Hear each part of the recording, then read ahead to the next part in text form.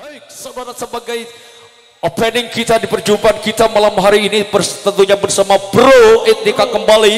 Kali ini sebuah instrumentalia tanpa syair tentunya yang akan dirilis langsung oleh Pro Etnika Abang Sahlan. Oke, untuk itu berikan aplaus yang meriah buat Pro Etnika untuk Anda semua.